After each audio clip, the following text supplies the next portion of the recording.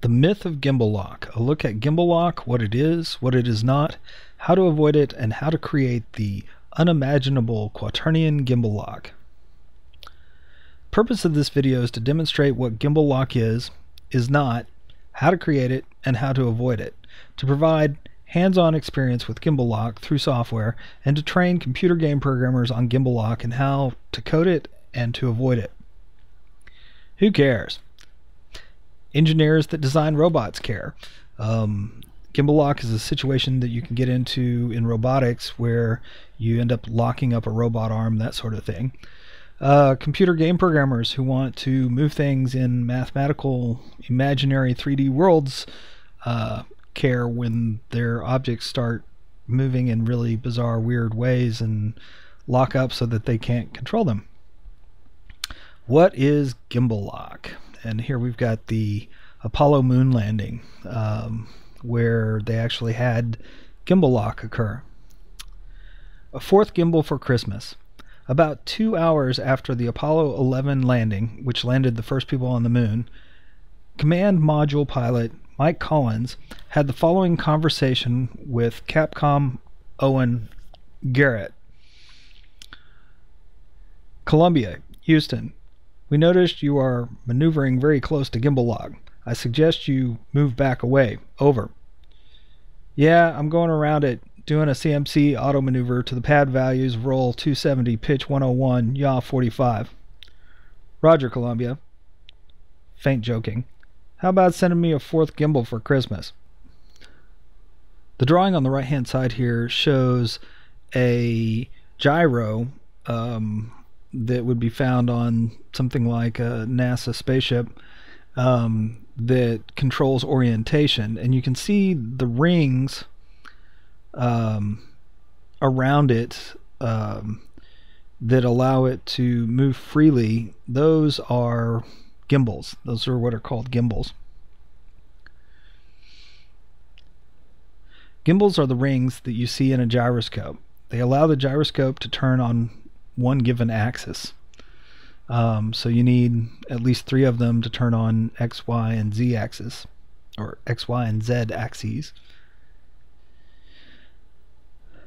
Here we've got uh, animation from Wikipedia that um, basically shows gimbal lock actually happening right there.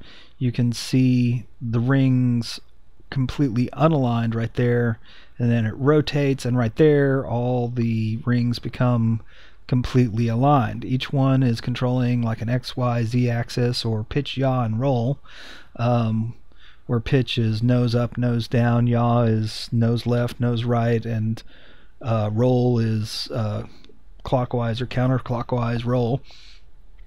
Um, if you're storing your values in pitch yaw, and roll, um, you can see at some point they might all three be on top of each other, all three values pitch on roll uh, right here uh, perfectly aligned, and at the exact same time, their gimbals all uh, basically go into alignment right there.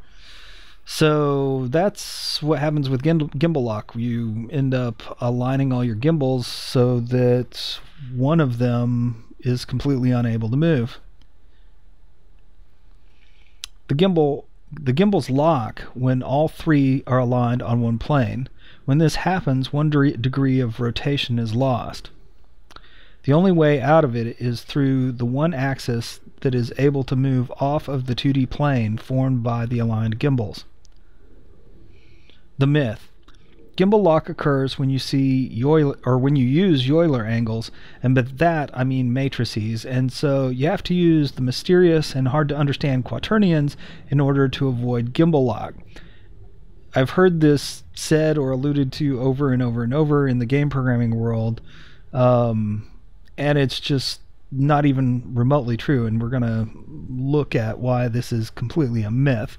Um, but it basically says uh, you have to use quaternions because quaternions are the only way to avoid gimbal lock, and I'm about to show the elusive quaternion gimbal lock that you actually can have gimbal lock with quaternions and that you have gimbal lock with quaternions for the exact same reason that you have gimbal lock with matrices. And the implication is matrices are bad because they cause gimbal lock, which is not true. The cause is not related to the matrices. In fact, you can even um, do the same thing with quaternions. The truth, gimbal lock is caused by the way you store orientation in three separate components such as yaw, pitch, and roll. Matrices can be used to cause or prevent gimbal lock. Likewise, quaternions can be used to cause or prevent gimbal lock. So now we will demonstrate that with a uh, XNA program that I wrote and the XNA uh, project, the complete project with uh, all the graphics and everything will be uh, available on the virtuallyprogramming.com website uh, for download. Um, but uh, now I will demonstrate this program, which was written and designed to demonstrate gimbal lock. So here I have uh, my XNA program that is designed to show gimbal lock. And I'll start the program. We already have the programming gimbal lock here, or set up to create gimbal lock.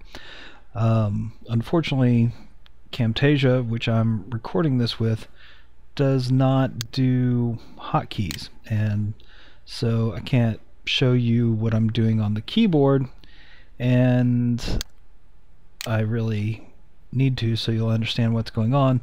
So I'm just going to have to use the mouse to show you the keyboard here. So the program is set up with this um, arrow, uh, the blue arrow on the screen there, um, it's a 3D model, and uh, the keyboard will rotate. This is set up for your standard yaw, pitch, and roll. We'll, we'll look at the code here in a second. Um, w, let's see, there we go. W and S uh, are pitch up and down. And as long as this is horizontal in its original position, all this stuff works. The D and A are yaw, and then E and Q are roll.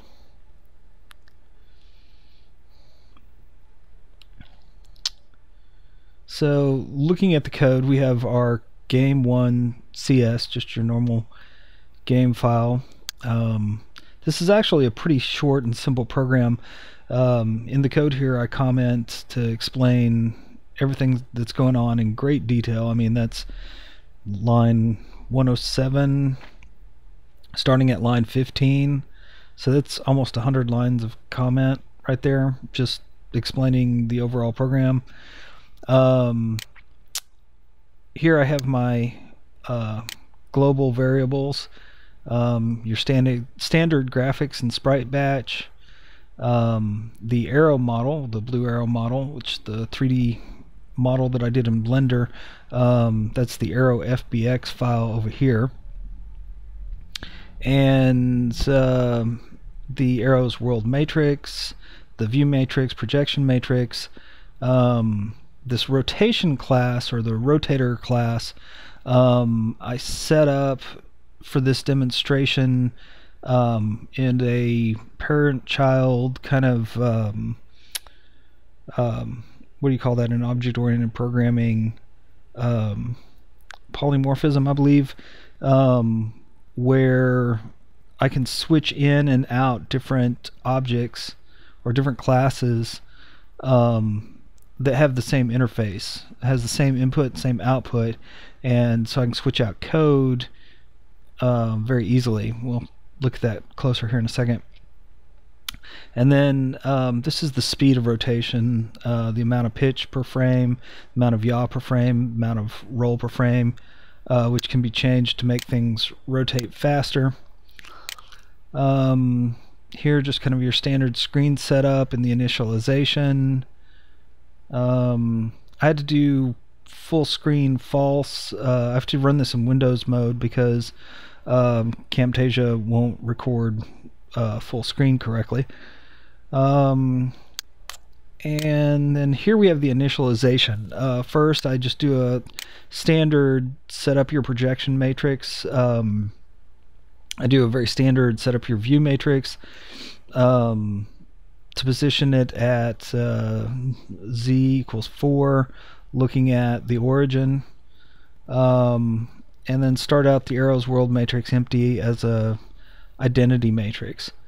Um, here I've got options commented out um, with try different options. Um, currently it's set up that the rotation class um, is defined as a wrong using quaternions. Um, so this rotation class here um, is an instance of the wrong using quaternions um, class. And all these classes inherit from the same parent. And so to switch them out you can simply comment out one line and uncomment another and everything is changed out. Uh, just that one simple change of two lines um, will switch these in and out. We'll go back to the way it was. Um, and then here we have the speed the rotation speeds um, in radians per frame, uh, how fast to pitch, how fast to yaw, and how fast to roll. Um, load content, extremely straightforward. That probably could be deleted from the code. It's not really doing anything. Um, here it loads the Arrow FBX model uh, into the uh, Arrow um, value variable. Um, and then the update. This is all keyboard control. Um, again, very simple code here. Um, we get the keyboard state. Um, if you got an Xbox 360 controller, hitting the exit button will exit the program on the Xbox 360 uh, controller. Otherwise, the escape uh, key on the keyboard will exit the program. Um, and then the controls I just demonstrated W, S, D, A, E, and Q. Um, so let's see, uh, W and S are the pitch up and down. So it calls the rotation class that we commented out or uncommented and uh, calls its pitch method and then sends it a uh, pitch angle uh, per frame in radians. Uh, negative if it's the uh, W pitch up and positive for the um, S key. So, see, I think W will pitch down, I believe, and S will pitch up, I believe. Um, and then D and A are the yaw. So D is uh, clockwise and A is counterclockwise, um, yawing, and then uh, rolling. Uh, but it's it's set up so that this this the keyboard controls here will work with whatever class we've assigned to rotation class. We assign different classes there. And then the draw is extremely straightforward. Uh, clear the screen in your standard XNA cornflower blue color. Um, the arrows world matrix. Um, here we call the world matrix uh, method of the rotation class and say what is your world matrix? Because when you go to draw it this is an XNA model. XNA has a uh, built-in model class. Let's go back to the top and look at that see arrow here is defined as uh, an instance of the model class XNA has its own built-in model class that knows how to draw itself and um, knows how to do a lot of things um, so that you don't have to create your own model class. And it just loads that arrow.fbx model and knows how to how to draw it. And it's using here basic effect and um, going through each mesh in the model. There's only one mesh here, so these four e for each loops are a little bit uh, overkill um, because there's only one mesh to be drawn. But it goes into each mesh in the model and defines how the basic effect is set for that mesh. Uh, this is all very standard stuff for XNA model drawing. Um, enable default lighting. Uh, it's not textured. We are using lighting. Uh, here we have to pass a world matrix uh, that describes where the arrow is or where our model is and how it's oriented. Um, you don't have a choice on that. You have to, it has to be submitted as a matrix, which is why here we call the rotation class, um, which controls the, the arrow on the screen, and um, ask it what its current world matrix is because you're, I mean, we could take just this value here and oops plug it straight in there um, which would mean you could totally get rid of this um, I think the code's maybe slightly easier to read the way it is, but you could do it either way. But the whole point is that you have no choice. When you go to draw the model, you absolutely have to pass the position and orientation as a world matrix. Um, if you're using a quaternion, you're going to have to change it back into a world matrix so that it can be submitted as a world matrix here. Or if you're using yaw, pitch, and roll values, however you store it, the end result has to go into a world matrix. Um, and we'll look at uh, the rotation classes um, world matrix method here shortly. Um, and then you have to also pass a view matrix to describe where the camera is at and a projection matrix to describe how to project from 3D space to 2D space. And that is the entire game 1 CS code. That's that's all of it. So if you look over here in our project uh, Solution Explorer, um, that's all there is to this code. Program CS is standard. That's in all all XNA uh, programs. Um, we'll open it just in case you're not familiar with that. It's very simple. It's 19 lines of code, um, but it's standard. It all it does is call this game one CS.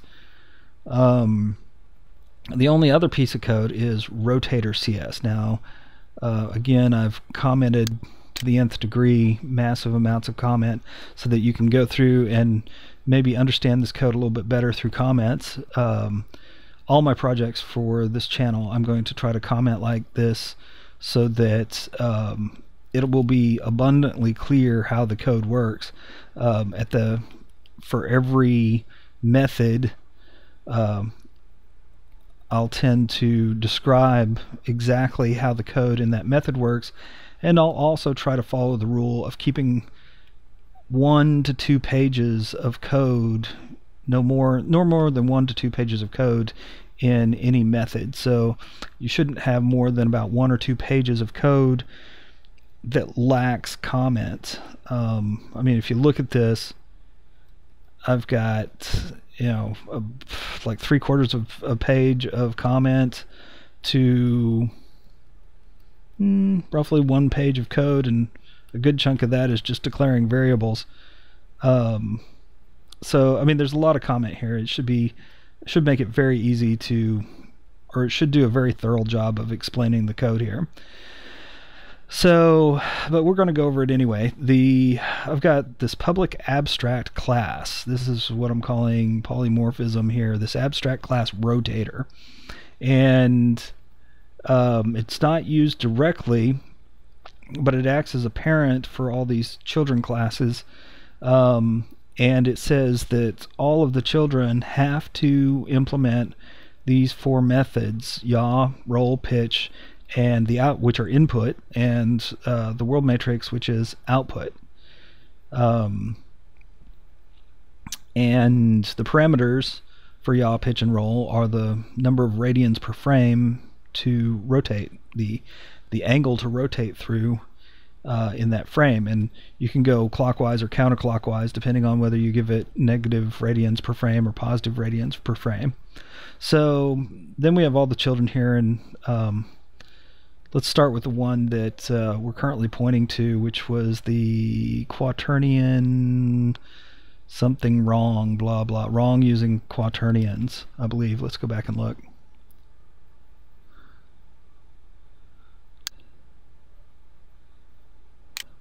Yeah, wrong using quaternions. Um, so this one is the one that shows demonstrates gimbal lock using quaternions and uh, you can see I've got this quaternion rotation and we feed it yaw, pitch, and roll values which are the input parameters. So what we've got going on here is we've got uh, where's the uh, input parameters? Okay, we've got okay. This is a class. The whole thing is is a class. I was thinking of it as a method there for a second. It's not. It's a it's a class. Um, and so it has the following variables, um, which are private and can't be accessed directly, which are the yaw value, the pitch value, and the roll value. So it's storing the yaw, pitch, and roll as three float values, which when you first start game programming, you're probably going to be tempted to do that because it sort of kind of makes sense in the beginner's mind. Um, it doesn't really, and when you see how badly it fails, you'll um, start questioning how this ever made any sense. But at least it's pretty understand. It's pretty easy to understand what yaw is. It's pretty easy to understand what pitch is. It's pretty easy to understand what roll is, and it's pretty easy to understand angles. Even if you don't understand angles in radians, uh, it's easy to convert radians to deg- degrees and degrees to radians and back and forth. So even working with radians isn't that hard because you got you know uh, methods and whatnot that will convert back and forth between radians and angles. So it seems fairly intuitive. And then we have to use the override and define these methods uh, because this inherits from the abstract rotator class, its parent, which forces it to define yaw, roll, pitch, and world matrix methods. And all it does is it takes that ro- rotation in radians and combines it with the current yaw value, or for roll, it takes the input and uh, combines it with the. Is that right? I don't think that's right. Roll should go to the roll value, right? I'm pretty sure I got that backwards. I'm going to change it just so that uh, we, uh, we're on the same page. I think that was a bug. It won't matter, um, really. We'll still get gimbal lock. We'll probably get it on a different axis, which might actually be bad for the demonstration. Um, I don't know. I think this is the way it's supposed to be. Worst case scenario, we change it back. So anyway, it's it just adds the pitch to the pitch and the roll to the roll and the yaw to the yaw. Um, you're just updating those three float values. And then when you say, "Give me the world matrix," so I know how to draw this. Um, it's going to create a quaternion. It's going to take those three values, yaw, pitch, and roll, and create a quaternion uh, which, if you don't know what quaternions are, that's fine. Um, you really don't need to. Um, they're uh, just think of them as black boxes, or just uh, it's going to hold an orientation, is what it's going to do. It's just going to hold the orientation. Um, and we'll call our quaternion rotation. And then the output has to be a matrix, so we take the quaternion and convert it into a matrix and put that as the return value for the world matrix call. So we're just turning those three values into a quaternion, and uh, no matter what you do, it has to end up as a matrix. So um, we're going to prove that when you do this, you can still get gimbal lock. Let's run it. Okay, let me find my keyboard here. Okay, hopefully this is on the screen.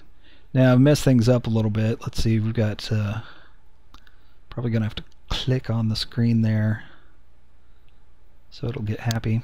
There we go. Okay, so W and S have now become um, roll. I don't know if that's right or not. Um, let's go back and double check the code. I may have to start this whole video if um, it gets too crazy. Yaw, pitch, roll, yaw, pitch, roll. Okay, this is, I'm pretty sure this is right. I don't know why I had that backwards earlier, but at this point, I think it's right. Anyway, so let's see, we'll start with W and S. And that's calling pitch. You know that's calling pitch. Let's see, go back to update.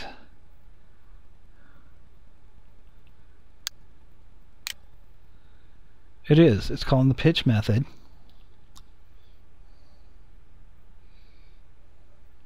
Oh, yeah, I know exactly why it's doing this. Um, so it's called pitch method, which adds to pitch, and that's what it's doing. The problem is the the arrow here was oriented for the other situation, which is probably why I had it backwards. It, it really doesn't matter for the demonstration. Um, we'll still demonstrate it, but um, pitch means you know to roll in this case along the x-axis and that's what it's doing I, I should have had the arrow start out aligned with the z-axis and then this would make sense so I mean that's obviously pitched down if you think I mean from from our perspective from the camera perspective not from this perspective of the arrow but from our perspective that's pitch up that's pitch down um, let's see if we can get yaw. Okay, that that makes sense. That's yaw and a. Okay, and then this should be roll, which from our camera perspective is correct. Now, let's see. Right about here, I think, is where we're going to start having problems. See, everything was working, fine Ah! it's a little bit hard to do this with the mouse clicks. I'm clicking and nothing's happening. Okay, there we go. And then, come on. you can see on the keyboard I'm clicking and it's nothing. Nothing's happening. What's wrong with it? Okay, that's pretty much about right. Okay, and so let's see. Ah, there it is. Um, we got the EQ, right? E and Q are doing side to side yaw at the moment. Come on. And D and A are doing yaw. This is gimbal lock. We're in gimbal lock now. So basically E and D are doing the same thing. Come on, if they work at all. There we go. Um, and Q and A are doing the same thing. That means we have lost one degree of rotation. We have the ability, in fact, let's bring, bring it all the way around, 360 degrees. Just show that all 360 degrees, we're trapped. We're trapped on this plane. We can't get out of this plane. Um, this is supposed to be our roll control, and it's yawing and our yaw control is also yawing. And so our pitch control, which was actually doing sort of a um, roll, really, is the only thing that still works. It'll pull us off this plane. And in fact, that's the only way to get out of gimbal lock is to get off the plane by using the one degree of rotation, the the one method that you still have left will get you out of the plane. Once you're out of the plane, you'll, you'll be out of gimbal lock. C, E, and D are actually doing something different now, although you, you go from the original state we started in where you're not in gimbal lock at all and then you start moving towards gimbal lock. C, E, and D are doing something slightly different. Although we're, yeah. See, this is just rotating around the y-axis. And this is rotating around the arrow's own um, y-axis, basically. And so if we get them down on that plane, then the two axes align and the actual y-axis and the personal y-axis become the same. This is gimbal lock, and I've just shown that we're doing this using quaternions. Okay, let's move on because we got a bunch of these to look at. Um, what's the first one in the rotator here? the first one right here, wrong using matrix. So this, this let's look at this one. This one's basically the one that um, people always accuse or the one where people always accuse matrices of gimbal lock. You know, you, if you use a matrix, you're going to have gimbal lock. Um, let's go to that one.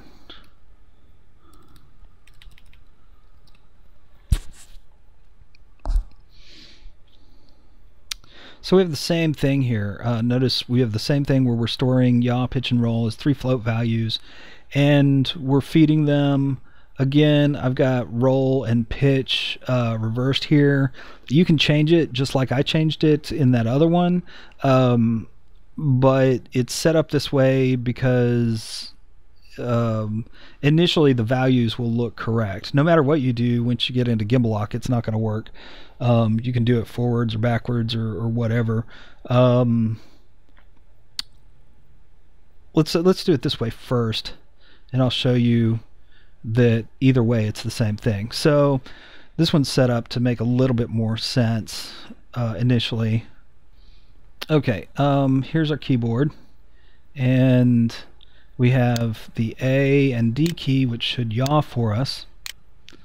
Oh come on, um, I think I may need to click here and select, may need to focus my game window. Yaw values, that's what you'd expect for yaw and pitch. That's about what you'd expect for pitch. And roll. And that's about what you'd expect for roll. However, it's set up so that the gimbal lock occurs on the same plane. Um, we um, you can control which plane the gimbal lock occurs on uh, you cannot control, I mean, using the method that we're using here, you cannot control the fact that we have gimbal lock, uh, but you can control which plane it occurs on. And so if most of your movement only needs to be on two planes, then this is fine because you can just make your gimbal lock plane be the one that you're not using or the axis that you're not using. Okay, so we have that same situation here where Q, or no, sorry, it's not Q. Get back on the plane. okay, it should be D and W. Yeah, D and W are producing the same motion. S and A are producing the same motion. We're, we're locked on this plane. Again, we're in gimbal lock. Um, because we should be getting three completely separate rotations, yaw, pitch, and roll, when in fact uh, we're getting yaw out of both yaw and pitch. Roll is the only one left, which will allow us to roll out of the plane. And uh, once we're rolled out of the plane, then we should be able to get all our movement back. Yaw. Pitch. And roll.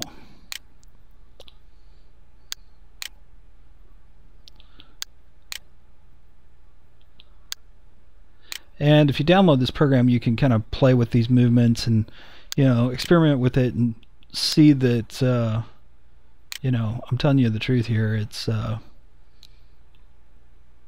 I'm not, uh, not setting this up for, you know, just to make it do some specific one, one trick thing or whatever. Um, you can look at the code and play with it yourself. Okay, so let's look if I changed those values to just see what's going on. Um, the initial setup there really um, worked well, but technically these are wrong. So let's correct them and see what changes. Um, let's see, I'll need to rebuild.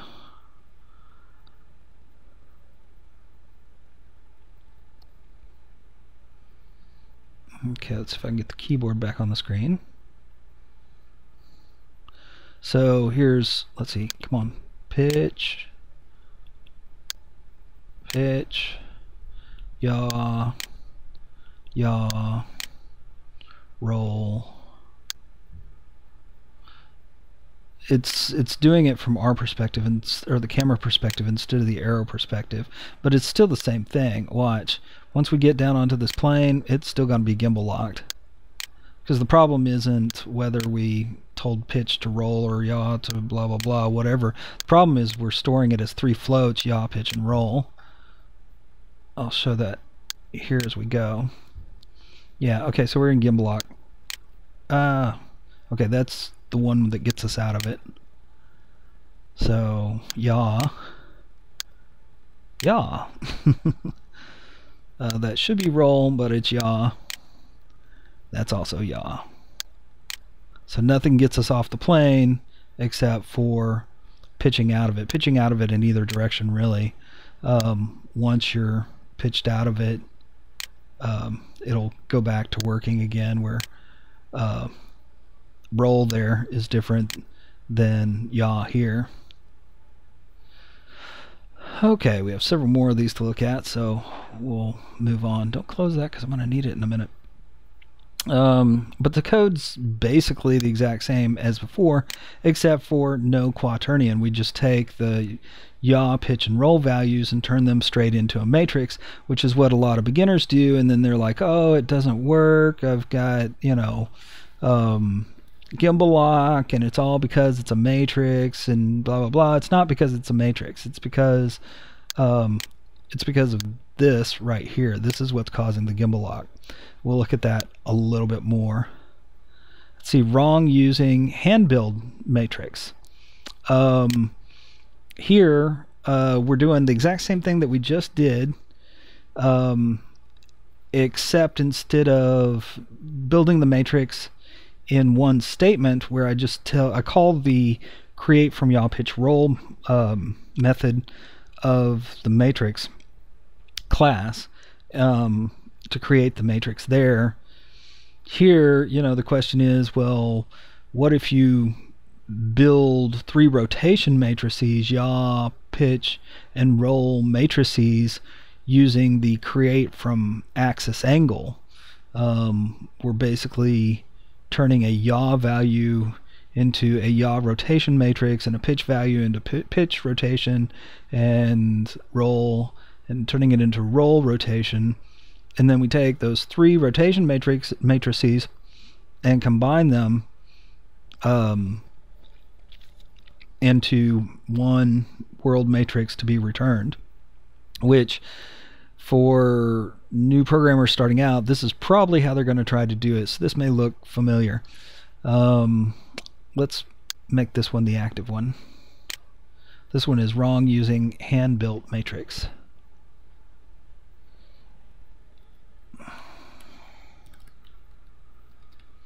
Okay, this one's active now. Let's rebuild and start up.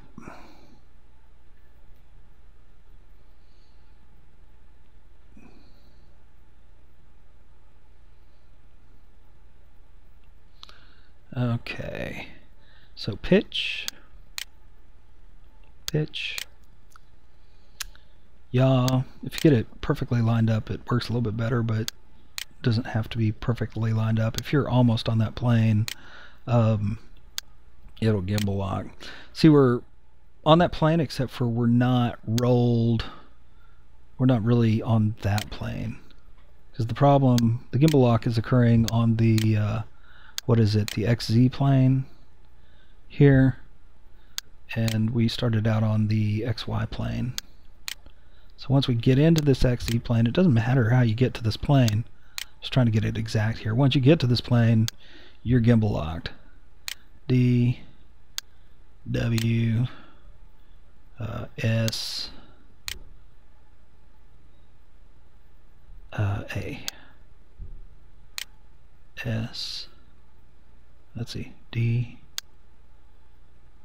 We'll go all the way around 360 degrees just to prove that you know it's 360 degrees all the way around you're gimbal locked the only way to get out of the gimbal lock is at any point uh, roll out of it, which is the one degree of freedom you have to move out of the plane. So that produced gimbal lock as well. Um, so now let's look at the right way to do it. If I can get this window to have focus again. The right way to do it using a matrix. Let's uh, let's go take a look at the code. Right using matrix.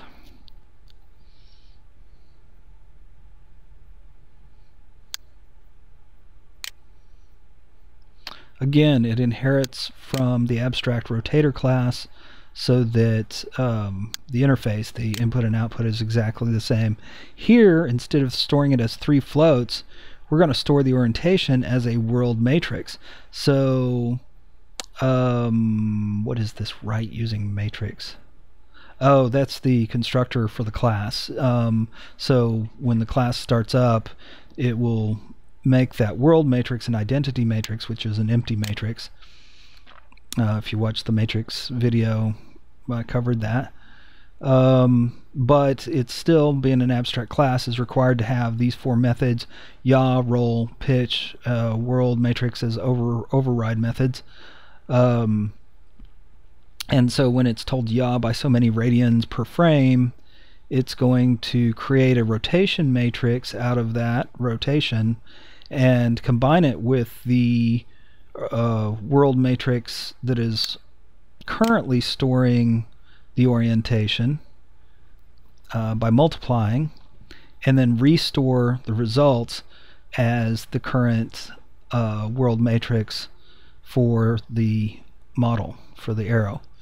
Um, so the position and the orientation, the direction it's facing, is stored as a world matrix here. Um, it's if you're not real familiar with matrices, this may seem really weird, um, unintuitive, and hard to understand um, because you know what yaw, pitch, and roll basically are. You can imagine you know 90 degrees yaw and 90 degrees roll and 90 degrees uh, pitch but imagining you know you open up a matrix and look at the values inside what direction is it facing? I have no idea. I can't tell um,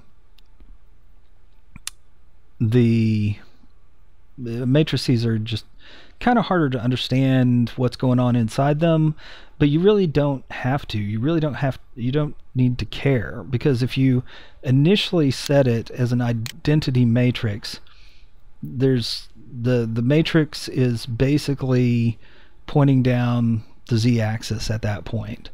Um, it's aligned with the world axis at that point and um, then when you call one of these methods yaw pitch or roll you're going to uninline this matrix with the XYZ world axis. Um, the matrix, as shown in the matrix video, basically has its own private XYZ axis um, that are mutually perpendicular, just like the world axis.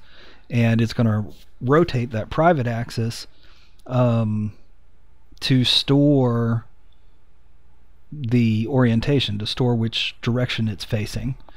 Um, you could also use this to store position, but in this case we're not changing the position. We're just changing the rotation. We're changing the direction. We're changing the orientation. We're changing the direction it faces. And the way you do it is the same. We've got to create rotation Z, create rotation Y, create rotation around the X axis. Again, we covered that in the vector and matrices videos where um, you have uh, three separate rotation methods um, to rotate in, in 3D. Um, there is no method to, you know, rotate in 3D. You have to do 2D rotations in 3D to get a rotation. Um, that's covered in again in the vector and matrix uh, videos. But otherwise, it works works the same. We take a rotation on an axis and we convert that to a matrix, and then we combine that rotation with the current orientation, which is stored in the world matrix, by multiplying and then we restore the result as the current orientation. Hopefully that sounds pretty straightforward because it really is just that straightforward. I mean, look at how many lines of code here. It's it's like nothing. Um, this is very straightforward, very easy to do once you understand the concept. Until you understand the concept, this, you may be blown away by this. Um, for somebody who's never seen matrices used before, this may kind of blow your mind, but um, once you get it, this is really all there is to it. I mean, it's it's really just this straightforward. Um, and then when you call the world matrix method to get a matrix to submit to the graphics card so that the arrow can be drawn to basic effect, you basically just return the world matrix. It's no calculation, nothing. This world matrix right here stores the model's current facing, its current orientation. So all you have to do is just return it.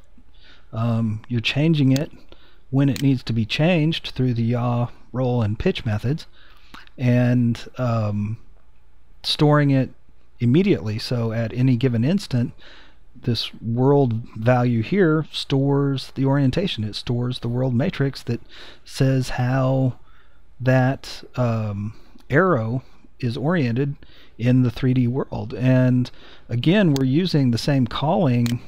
I mean, the keyboard stuff, it's all the same. It's no more complex than it was before because we're it's exactly the same. We're calling that rotation class, um, which is assigned here. We're calling right using matrix. We're we're taking an instance of right using matrix and assigning that to our rotation class object and then we call the rotation class object and when we press a keyboard button we tell it to pitch yaw or roll by a certain number of radians per frame and it does. It calls those and it's one line of code. It's it's so unbelievably simple. If you're if you've never seen this before you're um, probably kind of blown away and wanting to think that it's more complex than it really is and it's just really not. That's all there is to it. It's this in my mind is the way that you should do this that you should store orientations. I don't like quaternions and yaw pitch and roll are a disaster. Um, quaternions I, I, don't i don't dislike quaternions. I just um, I slightly prefer matrices over quaternions. I've seen some arguments for using quaternions over matrices, but so far I prefer matrices for everything other than spherical linear interpolation, which we're not getting into here, but if you were doing uh, skinned animation, um, you would need to interpolate between matrices, and you can't do that. It, you, there's no way to interpolate between matrices directly. I mean, you have to you have to decompose the matrix and break it down to its raw format, and then um, uh, what's interpolate. Then you have to interpolate.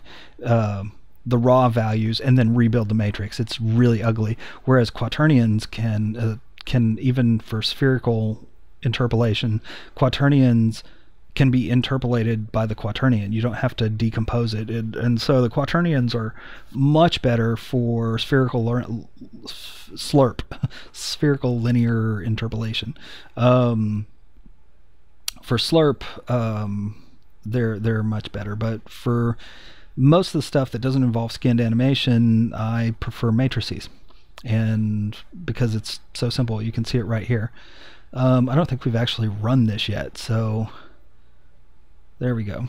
Um, we'll run it, and now we have pitch. Let's see how that's doing. Uh, we're from the camera perspective. Um, yaw. Yaw. And roll.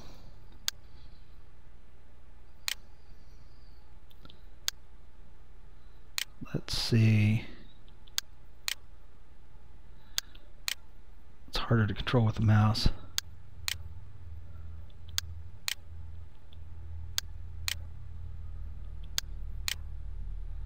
Okay, yaw. Oh, come on. There we go.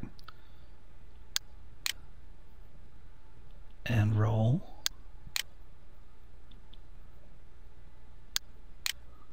And pitch. So the controls aren't doing um, exactly what I would have expected them to because uh, I think it's from the camera perspective. But um, it doesn't go into gimbal lock. There's no plane on which it goes into gimbal lock so you could switch the controls around. That also may be a function of um, the order that you combine the matrices in which hopefully is what we're about to look at next because I'm not sure what that next thing is because it's been quite a while since I've looked at this. But all three, pitch, yaw, and roll, are doing completely separate things. They're doing what they're supposed to for a change. So this is roll around the z-axis. This is pitch around the x-axis. And this is yaw around the y-axis. And no matter what direction you're facing, that actually works. It never gimbal locks. And we're doing it with matrices. And you can download this code and play with this yourself if you uh, doubt me. you, I, I, recommend downloading it um, anyway, um, just to take a closer look at it and read the comments and whatnot. Okay, that was right using matrix.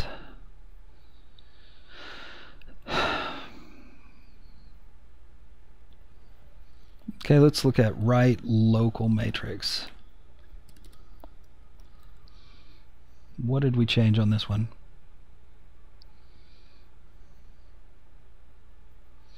Okay, again, it inherits from the rotator abstract class.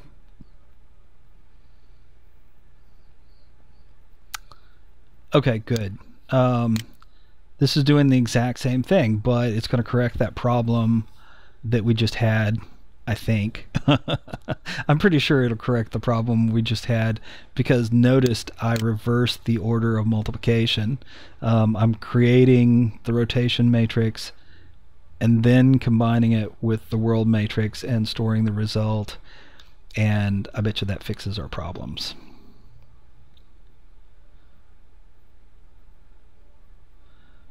Actually created, whoops, uh, where'd my code go? Okay, here's the screen.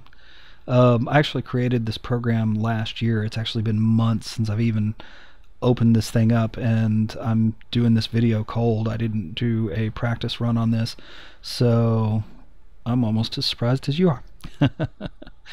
Let's see, the uh, pitch, that's not pitch. oh, okay, think of it from the arrow's perspective this time. Okay, that would be pitch like you're in a spaceship or the the arrow's a spaceship and you're telling your spaceship to pitch. That's pitch. That's yaw from the arrow's perspective. And that's roll. Perfect, beautiful. And I bet you it still works no matter what we point what direction we pointed in. Uh, let's point it straight up. So we're still yawing from the arrow's perspective. We're still pitching from the arrow's perspective. And we're still rolling from the arrow's perspective, although I would have probably preferred those roll controls to work backwards of that. Let's go ahead and pitch on over and get back on the plane. So you have to do all three planes to prove that there is no gimbal lock, but this is the plane that we were set to gimbal lock on.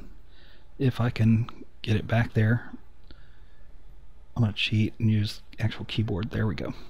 Um, and then I'm going to cheat and get this rolled so it's flat on the plane. There we go. Okay, so let's see. Um, yaw around from the arrow's perspective looks pretty good. And pitch. That one still works, so that's not gimbal locked, but that would be the one that takes off us off the plane probably.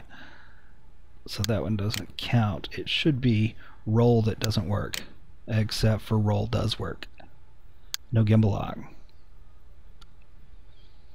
This is what you want. You don't want gimbal lock. You want, first of all, to be able to control things from the perspective of the object, and second of all, um, to get consistent results without gimbal lock.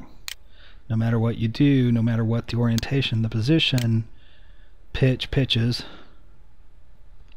if you can make the buttons actually press, yaw, um, yaws, and roll rolls. Here we go, roll. There we go. It works. So you can download this uh, program and test it for yourself, but on all three planes, in all orientations, it works. And the key here was number one, I stored the orientation as a matrix, and um, then we still had some problems when I was doing world times rotation matrix. By doing rotation matrix times world, um, it moved it to the um, the arrows perspective. Let's go back to the one we did before, where we're using a matrix, but um, the results were still a little bit wacky. What was that? Close the window. Um, yes. oh, I'm trying to build and run at the same time. Okay. Keyboard. Did I tell my keyboard to go away? There we go. Okay, and refocus on the game window and I think this is from camera perspective. So pitch, uh, roll, and yaw. So there's no gimbal lock here because we're storing this as a matrix. If I can get it down onto the plane.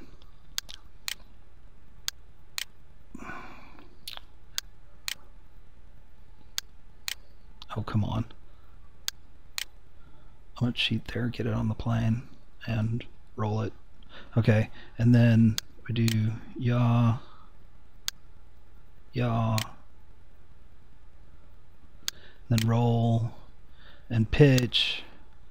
It's it's working perfectly, no gimbal lock. The the difference here is now when I pitch, I'm doing it from the camera perspective or the world perspective as opposed to doing it from the object's perspective.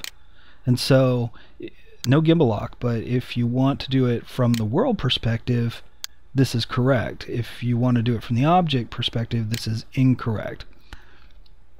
Let's go back take a slightly closer look at that. So again, when you do uh, rotation matrix times world matrix, that's going to give you from the object's perspective rotation.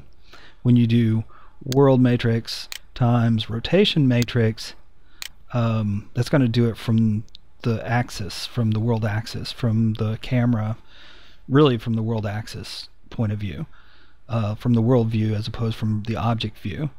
Um, the only difference here is the order that you do the multiplication in um, the order that you combine the uh, matrices in. So this goes back to the mantra that um, the order that you multiply matrices in always matters.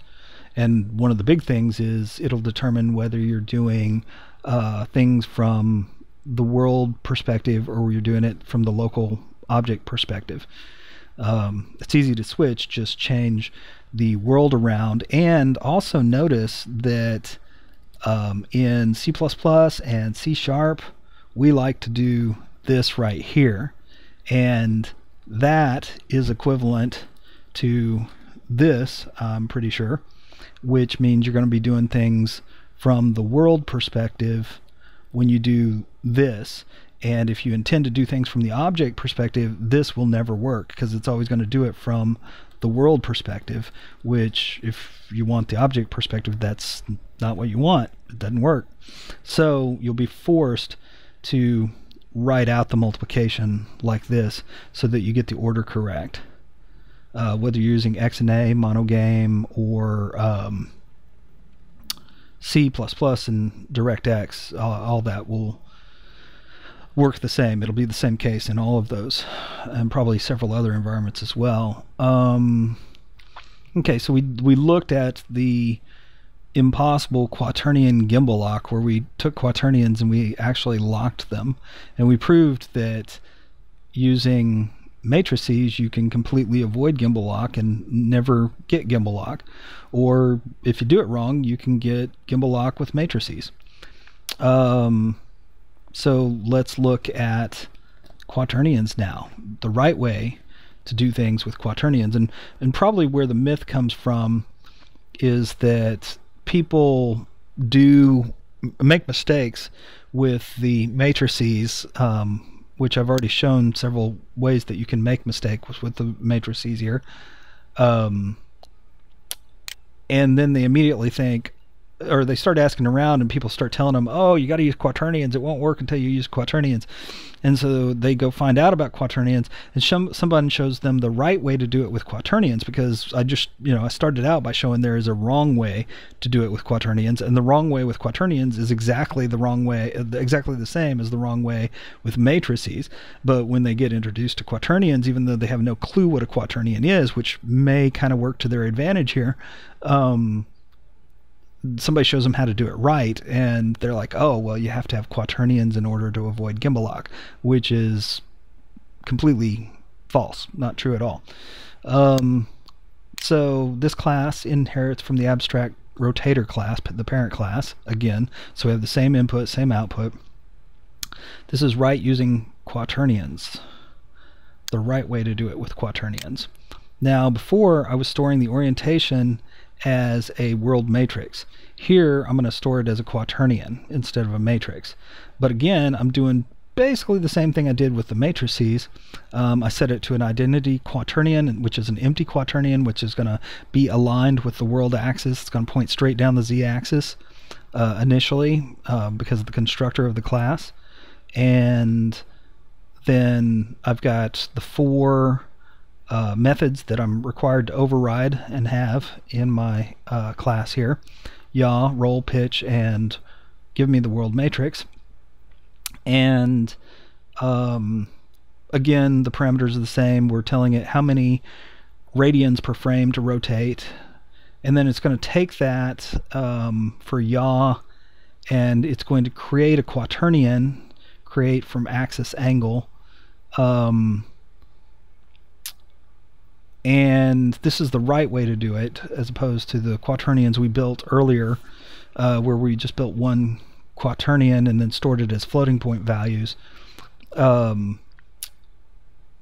the orientation here is this should be from the object's perspective I think because of the order of multiplication. But it's just going to create a quaternion then it's going to combine it by multiplying with the current orientation. So the new rotation is going to be combined with the current orientation to produce the new current orientation. And we're rotating around three different axes here up, backwards, and right for yaw, roll, and pitch to create three different rotation, three different types of rotation quaternion but otherwise these three statements are exactly the same. And then um, when we call the world matrix function, it's going to return a matrix by using the create from quaternion uh, method of the matrix class where all it does is it just takes a quaternion and con- converts it into a rotation matrix. Um, where if, if you had position here, this might actually be a problem because the quaternion will not store a position, it will not store scale. Matrices will, and the world matrix that you have to send to basic effect or to the graphics card to the shader does need to contain the position and the scale if you use scale, which I would recommend you don't use scale. Um, and none of that is stored in the quaternion, which is one of the reasons that I'm not super excited about using quaternions. I, I don't dislike quaternions. I mean, I, am showing you right here. I know how to use quaternions.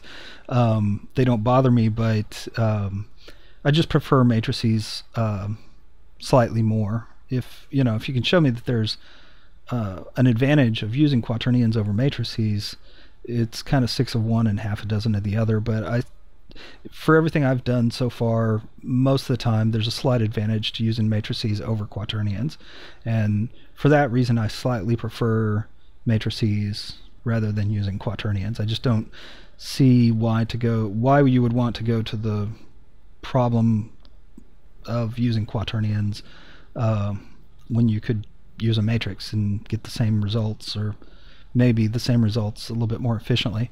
Big problem with quaternions is that they only store orientations. They don't store position. They don't store scale. Um, and the other big problem is basic effect or any shader that you uh, call to draw something is going to require a matrix, not a quaternion. So you've got to turn this quaternion back into a matrix before you use it and combine it with the position and scale information that you lost. So the, like I said, for slerp and a few other things, maybe there's some advantages to using quaternions, but most of the time I would suggest using matrices. But anyway, back to um, what we got going on here. The right using quaternions, um, pretty straightforward. Let's um, save and build. Oops, let's run. I wanted to build, probably built it anyway, but okay, now run and I believe the order of rotation here was going to be from the uh, orient from the arrow, from the arrow's perspective. It wants me to focus the window. Come on, focus the window. Am I focused? There we go.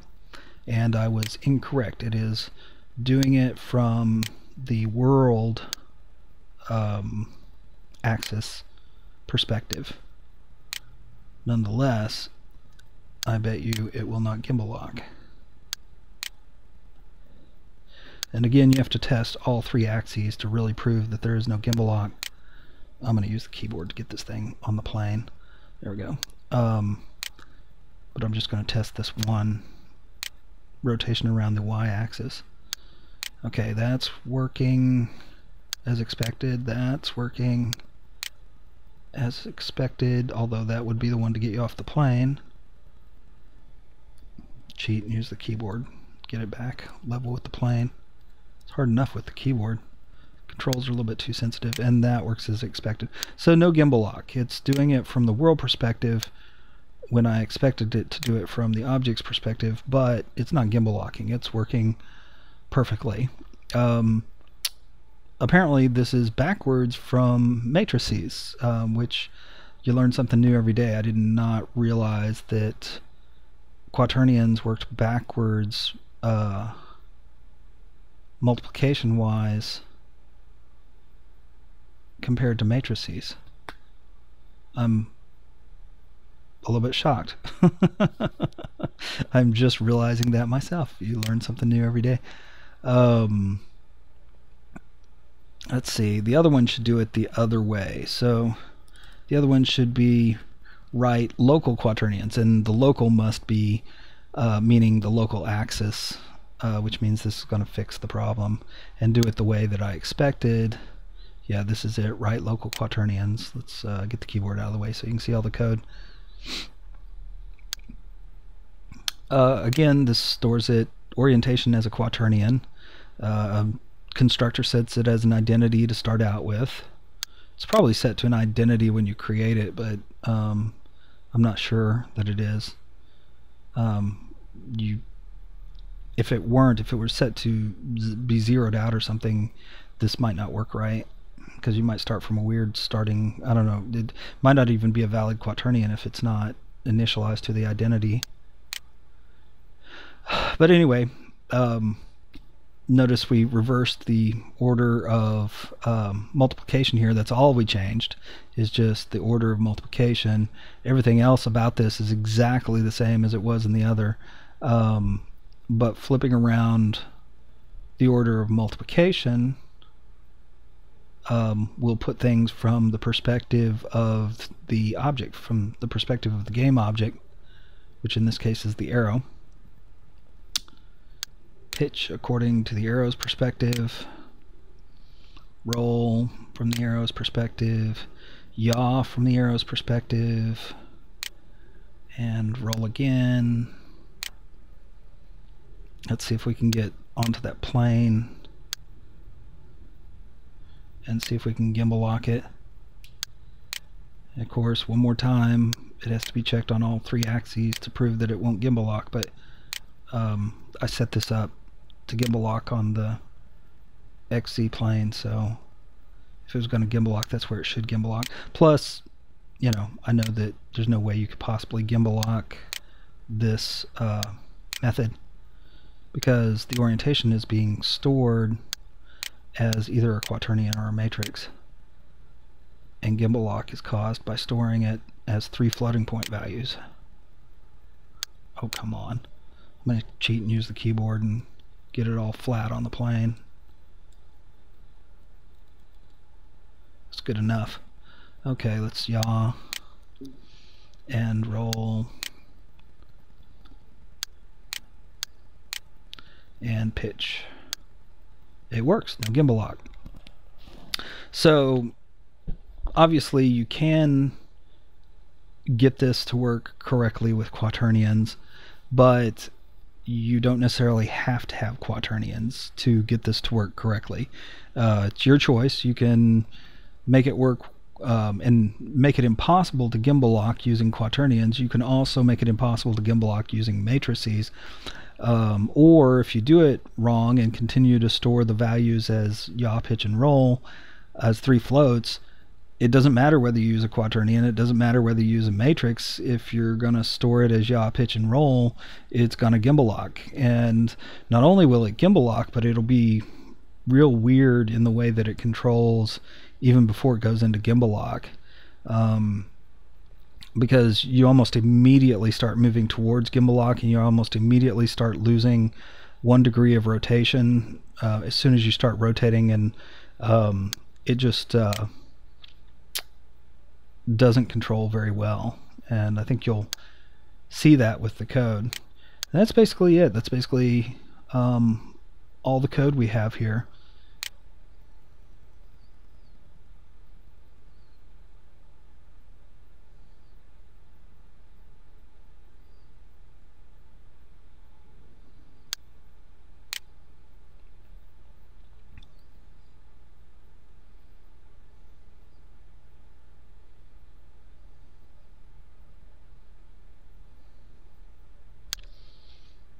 Let's see if we can get it to do the weird gimbal lock or show how it rotates weird. Um, we'll just pick one. Gotta pick one of the wrong ones. Yeah, let's wrong using the hand-built matrix because that's probably the most right of the wrong. And see if we can get the keyboard up there. Okay, so we pitch, and that looks to be right, and we yaw, and that looks to be right, and we roll, and that looks to be right. But let's um, pitch around a little bit here. So we tested everything, and obviously, I'm sorry, we're yawing around here. So we're yawing, and then we're going to try to roll. And that works pretty much as we expected. Except we're about to gimbal lock. So pitch does not work as we expected. yaw and pitch are doing the exact same thing because we're in gimbal lock. Um, so let's get off the plane a bit. Right about there. So initially, these were working as we expected. This was yawing correctly, which it mostly still is yawing correctly. The pitch that's not really pitch. That's not pitch from the local object and it's not pitch from the world coordinates. It's pitch from the locked gimbal or if you go back to the beginning of the video and watch that animation of how the gimbals come close they start out where they're completely separated and then they go flat into one plane. Well, only when they start out are they actually three completely separate yaw, pitch, and roll. The the moment that they start changing from that, whether it's yaw, pitch, or roll, any of the three, if it changes, you immediately start going towards this gimbal lock thing where things just kind of go wacky, and um, it just doesn't control in any way that really is intuitive. It's not controlling from the arrow's perspective. It's not controlling from the world perspective. It's really controlling from those messed up gimbals. And that's what you're going to get when you use yaw, pitch, and roll. So download the code. It's at virtuallyprogramming.com. Um, I hope to uh, put a link to the download um, in the description for this video. Um, if you've got XNA, um, you can load it. It takes uh, Visual Studio 2010, C Sharp, and um, XNA 4.0 uh, was what this was built with. You have to download the XNA 4.0 as a separate free download from Microsoft. You can probably still get the Visual Studio 2010 with C Sharp. Um, as a free download from Microsoft as well. Although all this stuff is starting to get old, and XNA is um, uh, discontinued, no longer supported by Microsoft. Um, you could rewrite this application in DirectX and C++. It'd be a little bit more code, a little bit more complicated, a little harder to read and understand what's going on, but basically it would be exactly the same and it would definitely work exactly the same. Um, this is really a math thing, not something specific to XNA or any other uh, game programming environment. And that is the mythical quaternion gimbal lock and um, how to avoid gimbal lock.